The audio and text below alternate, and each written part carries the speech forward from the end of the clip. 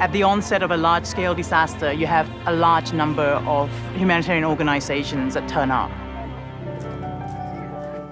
Information and any data becomes extremely valuable. Everyone is keen to make sure that the most vulnerable are provided with service. Being able to leverage the data to its fullest extent possible is helping us to better target our responses on the ground. We were thinking of covering first the insight you had sent us an email on. That might be interesting. So I put all of the sector support variables up here.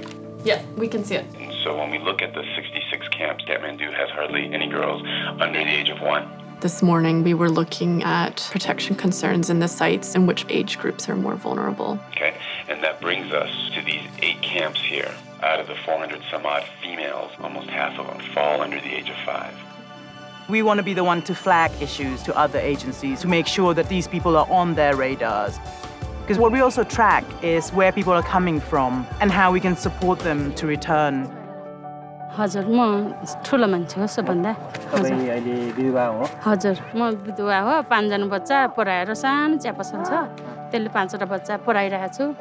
With mobile data collection devices, we can basically assess the information in the morning, analyze it in the afternoon, and disseminate it in the evening. Philippines have four values, Myanmar have three, Nepal have two.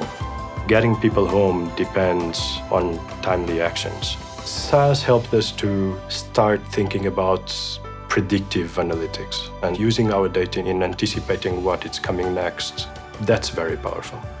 Becoming more efficient in humanitarian relief is something that excites me personally.